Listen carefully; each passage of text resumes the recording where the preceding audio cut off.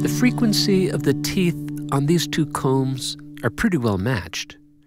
You know this because the teeth can all line up to allow light to pass through. Let's call this constructive interference. You can also line them up so that the light is blocked. Let's call this destructive interference. But look what happens with two combs not so well matched.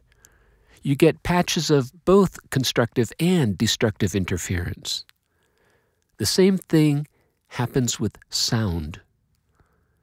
Let's start with 440 Hz from two devices. By the pure, unmodulated tone, we can tell that the two sounds are matched. But listen to what happens when we put one device at 442 Hz.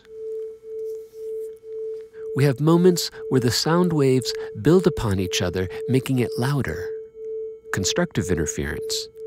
In moments where they tend to cancel each other out, making it quieter, destructive interference. These periodic variations in the loudness from two mismatched frequencies, they're called beats. The difference between 442 Hz and 440 Hz is 2 Hz. That's why the beats have a frequency of 2 Hz. Let's move one device to 444 Hz.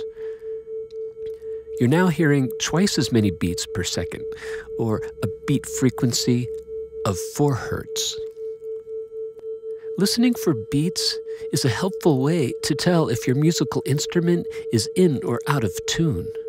If you're hearing beats, then the answer is no.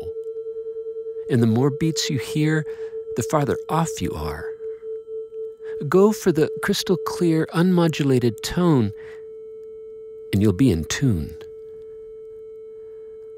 Dolphins use beats to detect moving objects, such as their next meal. They'll send out an acoustic signal that returns to them after bouncing off their target.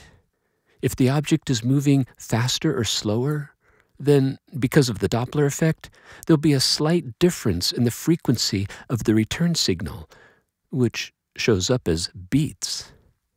This tells the dolphin how much it has to speed up or slow down for dinner.